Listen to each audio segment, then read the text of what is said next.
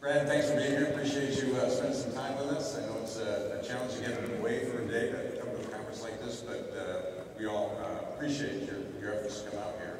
Uh, um, I know there's a bio of you in the, the handouts we, we put out there, but can you tell us a little bit about what you do and your responsibilities at Daimler? Yeah, absolutely. Well, first of all, thanks for having me. It's exciting to be here and talk to all of our supplier partners, many of you are. Um, so in my current role at uh, Daimler Truck, I head up the DTNA Parts Aftermarket Parts Marketing team. Um, so we handle everything from our supplier relationships and product portfolios we offer into all the training and retail efforts with our dealers, our dealer relationships. So really anything to do with parts outside of sales and supply chain, pricing, purchasing, we handle all the marketing. Not, not uh, that's a lot.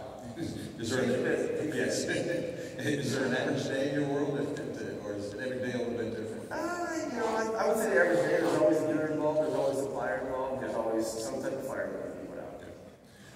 Um, we're about halfway through the program. Uh, has anything you've heard this morning through the program caught your ear and said, oh, that's interesting, or?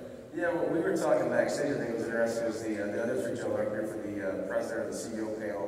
I think most of uh, Daimler Truck's responses would be very similar in terms of what's in our minds and what we see for 2023.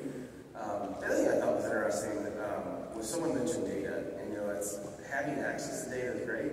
Uh, being able to use it is how you create powerful data.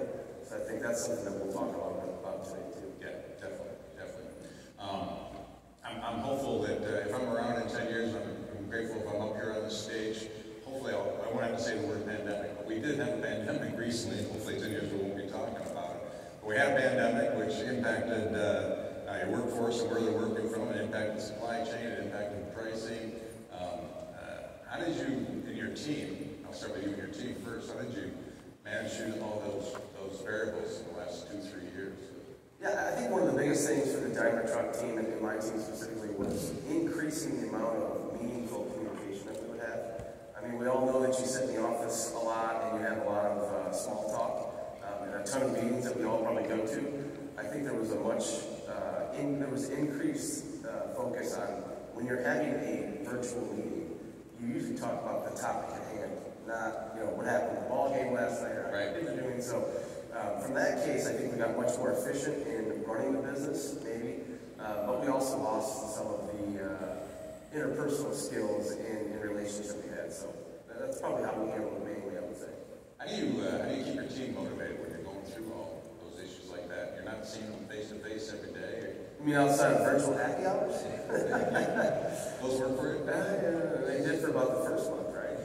Um, yeah, I, I think the biggest thing, right, is setting goals, um, making sure that they understand that uh, relationships are important, um, that we're all here for a common goal. I mean, Daimler Truck in general, in terms of selling trucks and selling parts, are two main revenue streams. Um, we get a lot of leadership from our top down.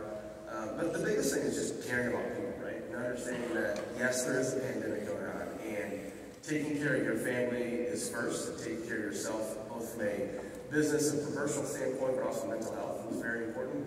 And then just giving the support they need, right? Whether that's a quick phone call, or whether that's a text, or whether that's a four-hour-long discussion on should we come back to the office or not, 17 times. Um, but just being there for them, I think is the biggest thing.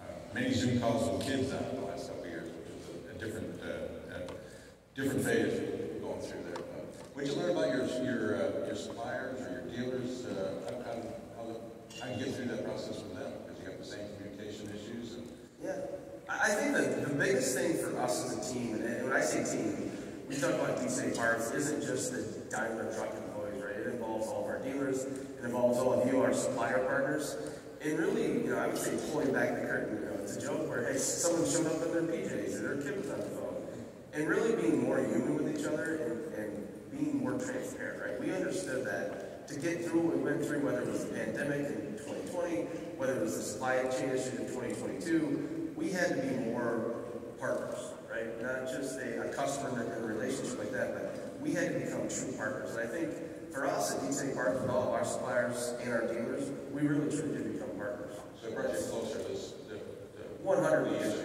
100%. The, uh, and I forgot to mention, uh, please uh, text in your questions, and uh, if we have some time, we'll get to your questions for Brad.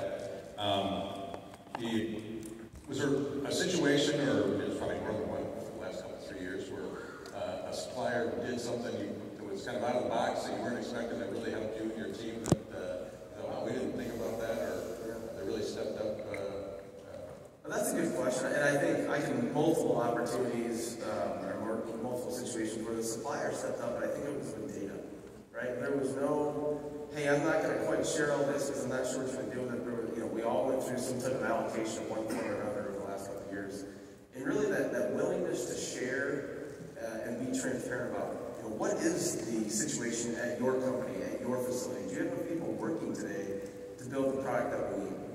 And a lot of times before the pandemic, I would say there was a little bit of keeping your guard up. Uh, and I really feel like a lot of our suppliers stepped up and being open, honestly, hey, I, I'm not, I'm not building the product because I don't have enough people here because I had 14 people off this week on, you know, COVID issue.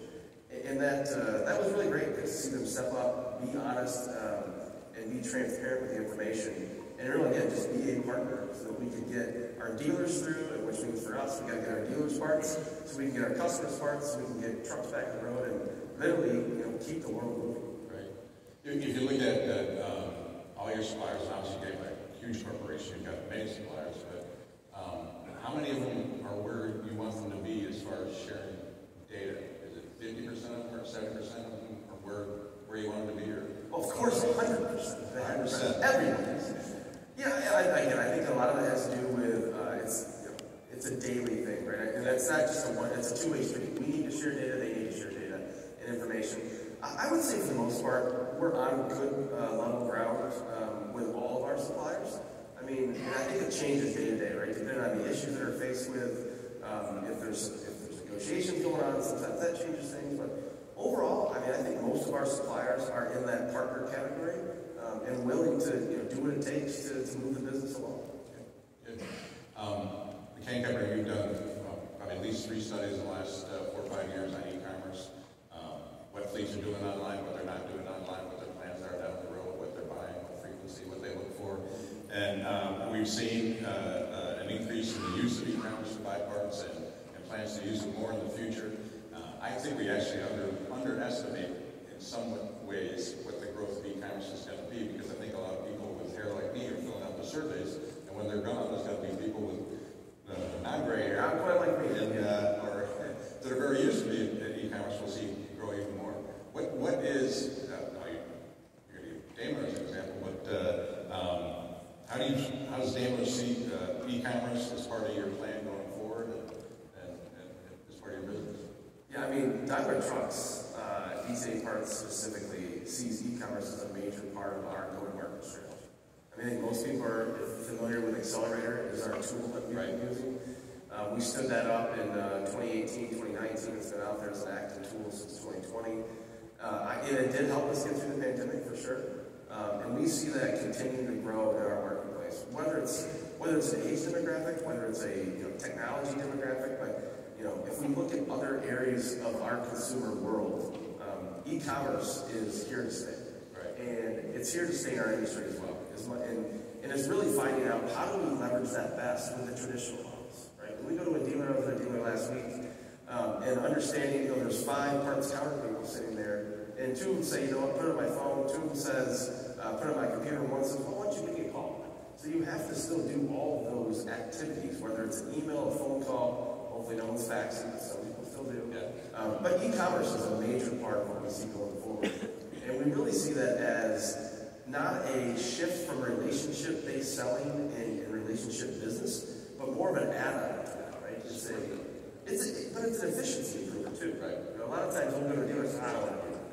Well, you can either, you know, a customer, maybe not a dealer, say a customer, you can sit on the phone for 10 minutes, waiting for them to answer your phone call, or you could have ordered those parts online, knew when they were going to be there, and had a price all in, you know, three three minutes or less, as opposed to waiting for 10 minutes. So it's definitely part of something we see as our business, and will continue to grow as we go forward.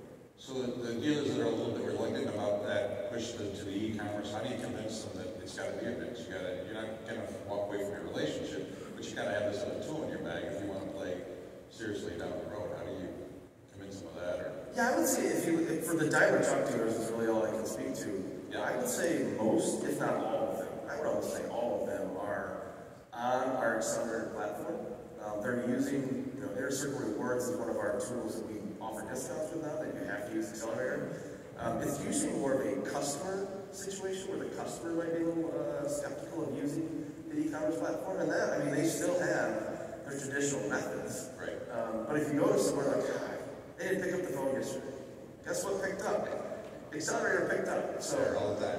you know, it's more of a, and again, I think it's a familiarization and a comfort thing, right? Not everybody started using Amazon right out of the gate, but we probably all use it